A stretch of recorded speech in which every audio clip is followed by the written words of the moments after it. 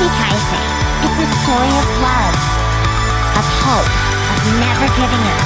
And that story belongs to you and me and anyone else fearless enough to dream big dreams. Because the heart that beats in me is the heart that beats in you, and the heart that beats as one is stronger than the two. Regardless of who you are or where you're from, it's the